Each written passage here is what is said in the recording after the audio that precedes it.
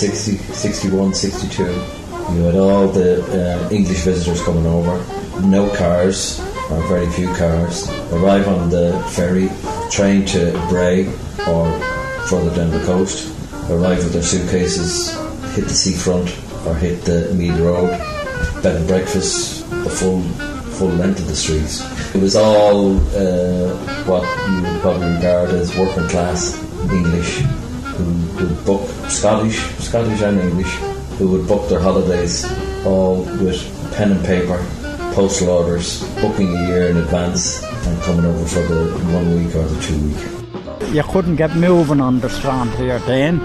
It used to be black the seafront would be absolutely crowded with people, and there would be queues for the tea rooms and queues for the ice cream stands, people sitting on the beach and walking along the promenade, all on the grass. And then, if there was a band playing, they'd be sitting around the bandstand. And then the stronger ones and the hardy people would be climbing Bray Head. So there'd be people coming up and going down. It was really, really a busy place, and everybody in good form and in good humour. Oh, everywhere. They come from all over the world then, that time, to here. But they, they couldn't get the. That's why they used to stay a lot here then, that time. They were all little houses along there. Dawson's was there at that time. It's all rebuilt that time now. But there was, they used to have huts in at the back for people staying in, and Dawson's house was in at the back of that. And there was a woman lived in the, there where that thing is, there that cafe. That was a, a woman called Mrs. Rabbit lived there. There was a lovely house there, it's knocked down and all. And Madam Smith used to be the fortune teller along there. And another man there that was arrested for the first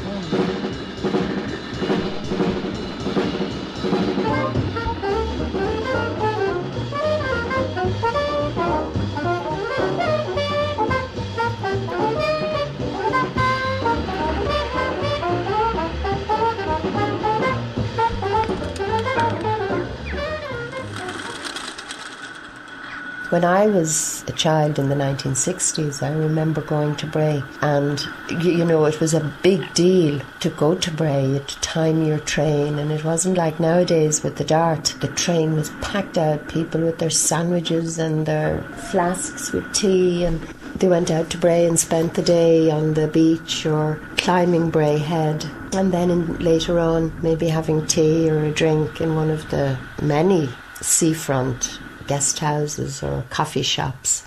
Bray is the longest established seaside town in Ireland. It has a safe beach of sand over one mile long that is very popular among those who enjoy a relaxing stroll. The beautiful seafront is overlooked by the famous Bray Head. Bray is described by many as having a very rich and thriving past. It all started at the river over 800 years ago, but the coming of the railway and improved roads in the 19th century brought new visitors to Bray. This then led to its development as a modern town and a fun seaside resort.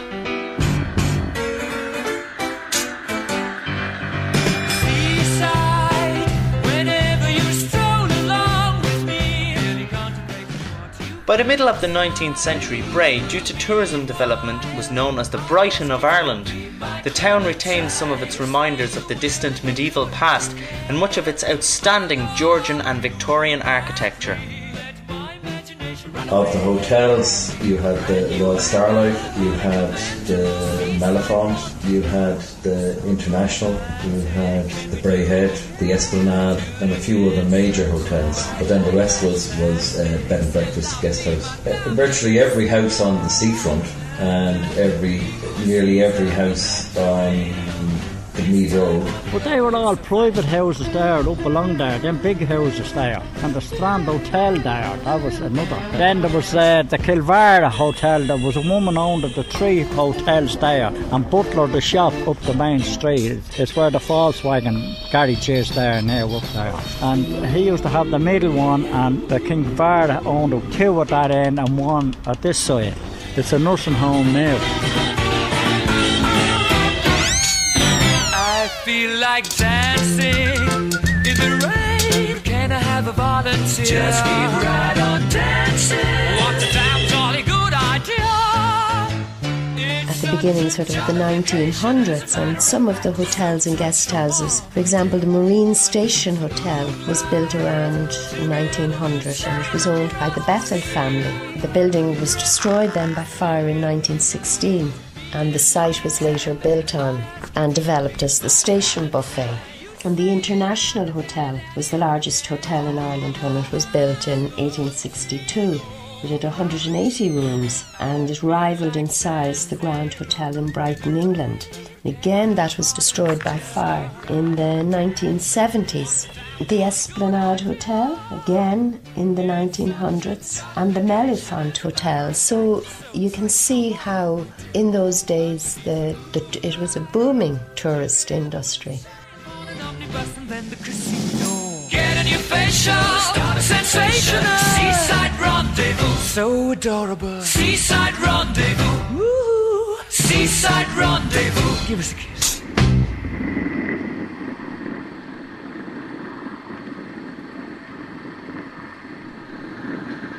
Bray was one of Ireland's most famous seaside towns, and similar to that of Brighton and Blackpool in England, Bray was full of entertainment with bars, restaurants, dance halls, and ballrooms having shows every night. Bray was for all the family and was full of fun.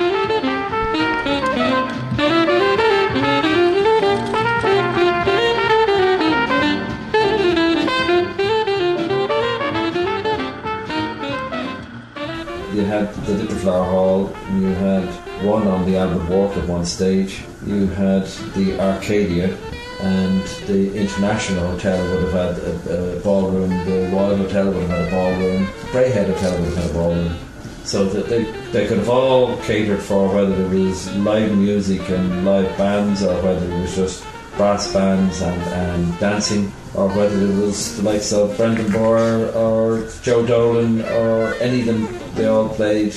And then when the Arcadia burnt down, uh, they built Fillmore East, and that was probably take about 3,000. Uh, that's where kind of the likes of uh, Brendan Bowyer and Joe Dolan played.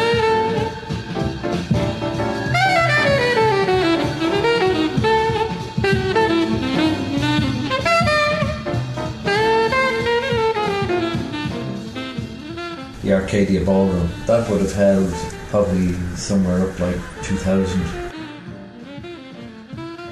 Oh, the Arcadia Ballroom in Bray, it closed in the, I think, around the middle 70s, but it was quite a famous place in Dublin. A lot of people came from all over to dance there, and a lot of professional dancers. It was a big ballroom and polished floor, and very, very famous. Some very good nights there. The Esplanade there was people lived in that and they were dentists and they owned the, the other, other side of the, uh, uh, the Esplanade there. The woman, Mrs. Cleary, used to sell teapots of hot water there for the bus drivers and all. There was only single decker buses that time. And the queues used to be here till one or two in the morning, to get waiting, and they used to put extra buses on. Some of them staying in the, in, in the hotel, going to the dance that night and staying in the hotel. Most probably would have just uh, either got the train out, got the bus out to the dance and gone home after it. That would have been jammed and uh, there's photographs of it, you know, the likes of Brendan Bowyer, Joe Dolan, the whole lot of them playing.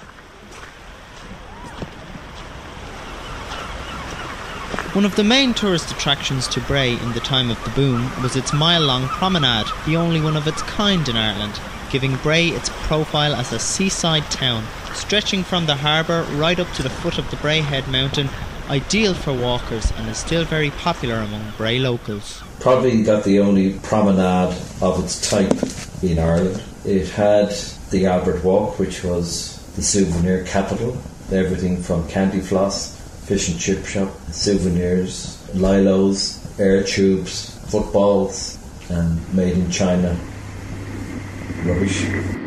There was the paddle boats out there, the pedal boats. But Humphreys used to have the big boats for pleasure.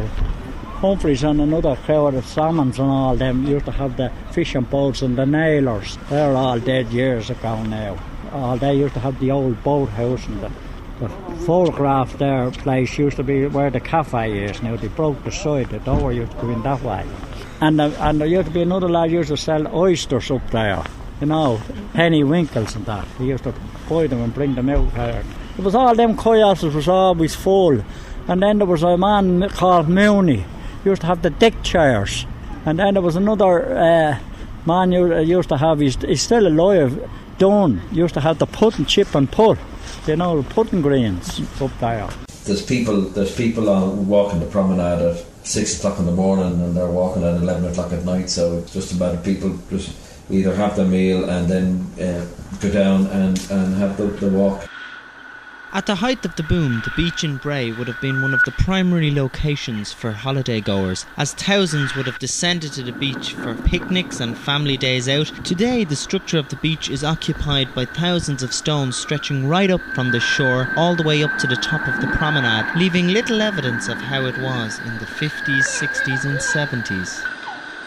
Uh, probably five, I think, probably five sets of steps off the promenade down to the beach, and they would have had a drop of about four metres, maybe. And there used to be all that was washed away now. The spring tides there will be in now tonight, maybe. We're expecting it in and Marion and all. And that used to fill all out there with the with the stones, and then the men would be sent in the labour exchange down for to shovel all the stones all back onto the beach, down onto the beach them days.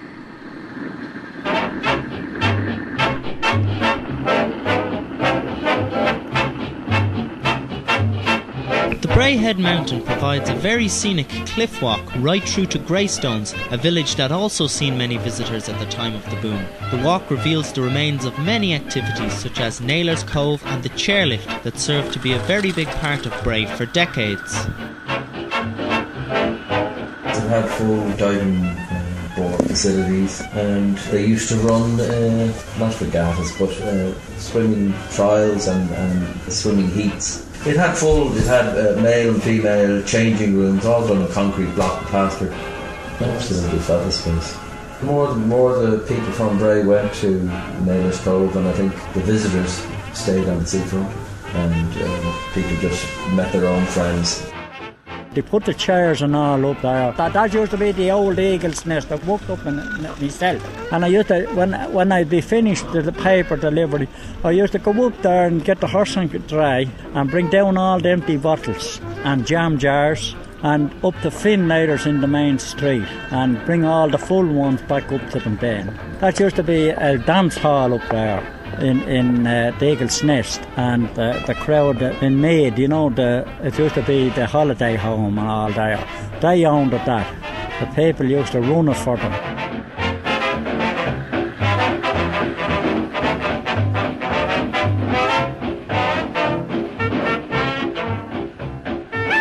You can walk to Greystones on the, the main road, you can walk down the cliff walk, you can walk actually over the head and down into it, and then to continue down. So you could actually go for a kind of a two hour or three hour walk coastal.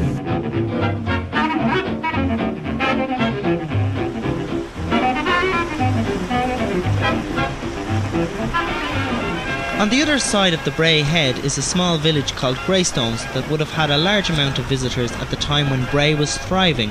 There remains the La Touche Hotel, and similar to those of Bray, this too had its period of time where business was flourishing. Well, I think it was one of the original Bianconi hotels where you had the horse-drawn carriage that was actually called to the hotel from Dublin. You, could actually arrive in Dublin and go with horse-drawn carriage out to the La Touche. And there's photographs in, in the hotel uh, before it was not showing the Bianconi line.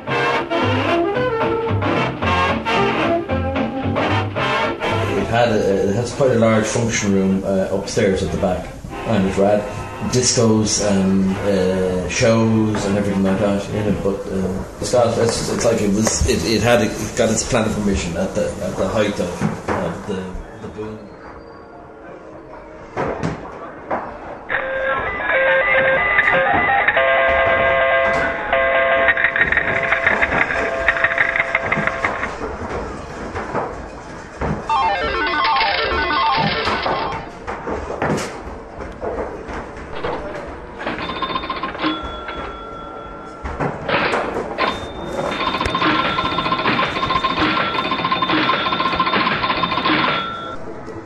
Bray still possesses several of the arcades and amusement centres that it had during the boom in places along the seafront.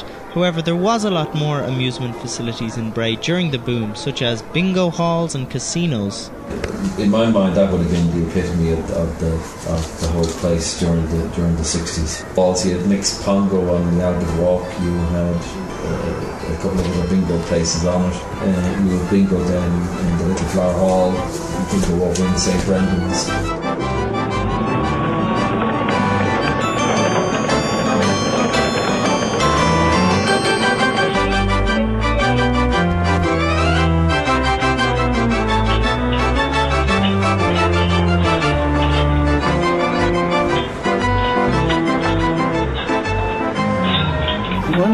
Main attractions for me going to Bray was at a certain age when we were old enough to get into the amusement arcade and the noise in there tinkling people on the one arm bandits and the noise and everybody just even to stand and watch them because we wouldn't have much money.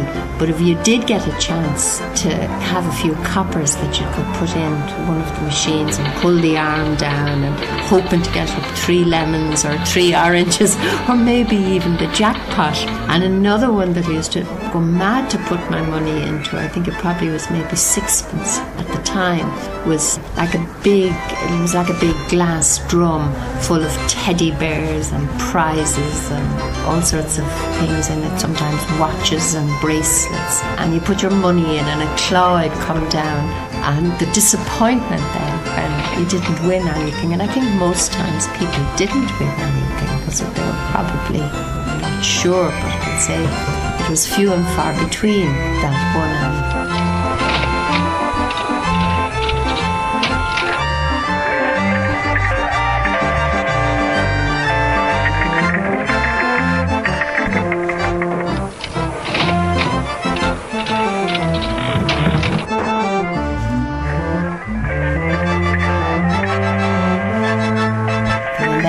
the amusements. They had, I think, Ghost Train at that time. They probably still do, and the Dodgem cars. So you could go through your pocket money very quickly, or your few bob that you managed to get, and then, of course, a big ice cream afterwards. Most of the amusement arcades were down at the end yeah, of the seafront, like just before you went up Bray Head.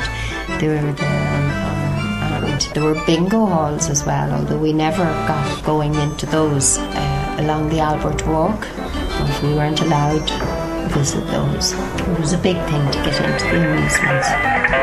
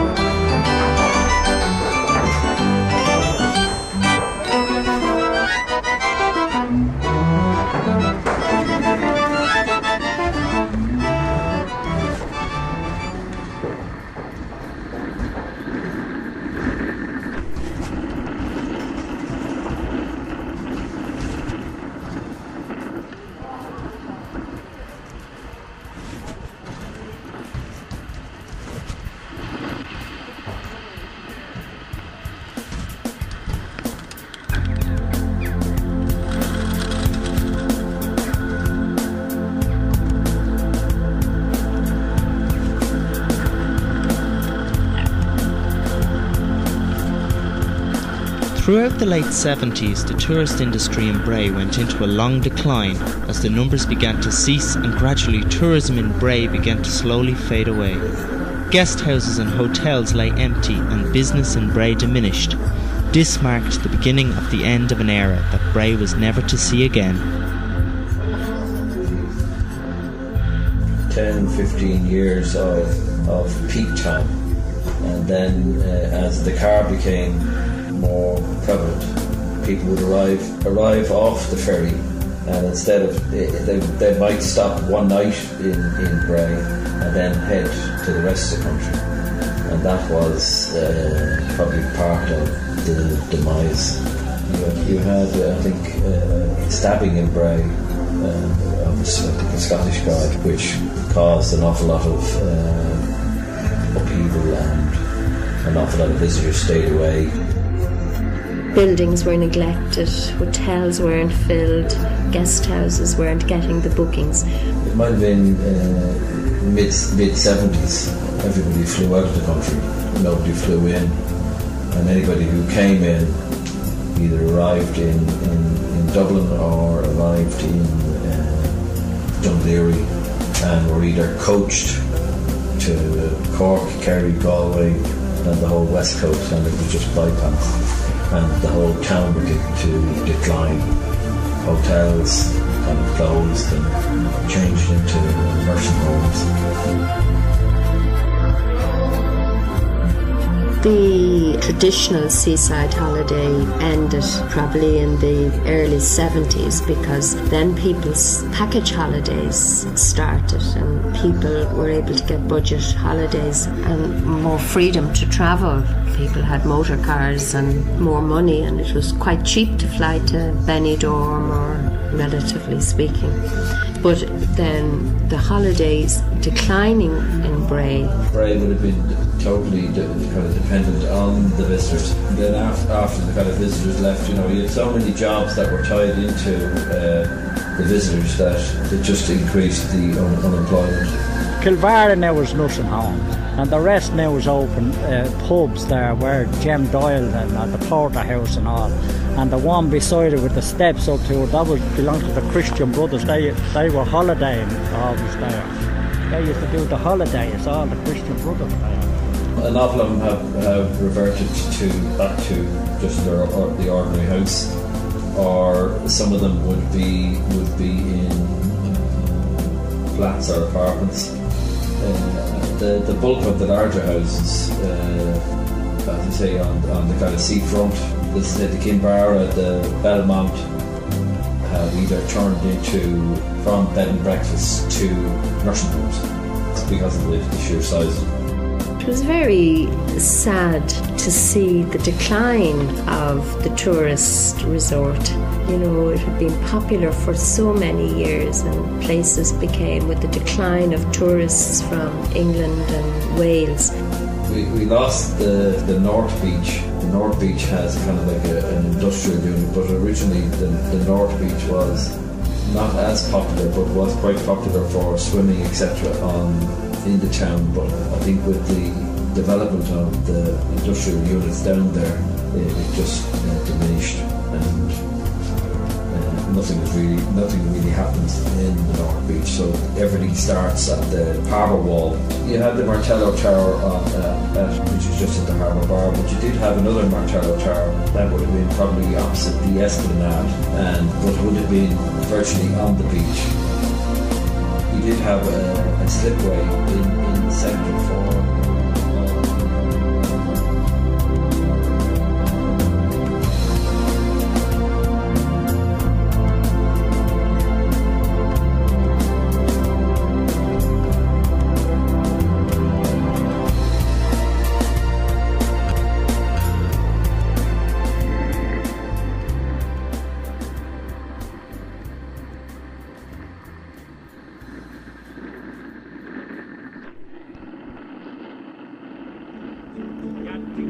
for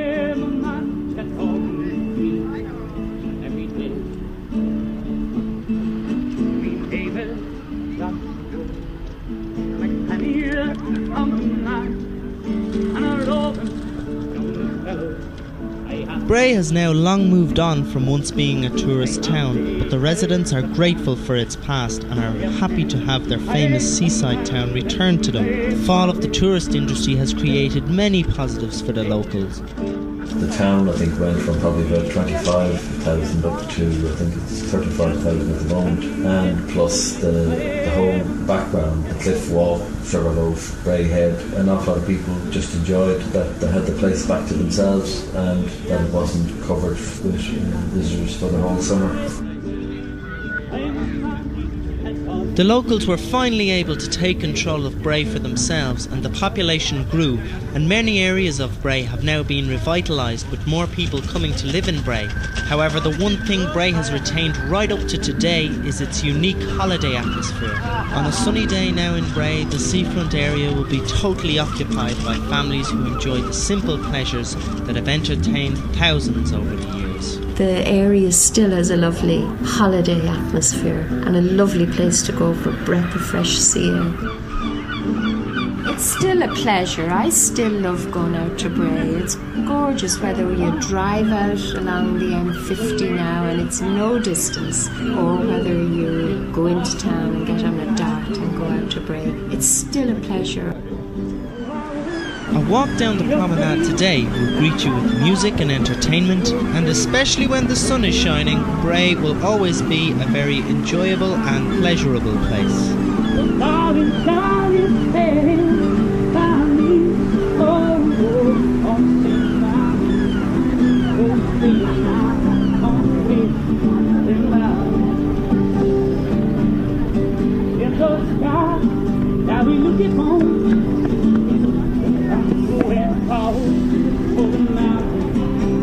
This documentary was recorded and produced by David O'Grady with special thanks to Peter Flynn, Roisin Flynn, Judy O'Grady, Harry Byrne, Paul McDermott and Rathmines College Radio.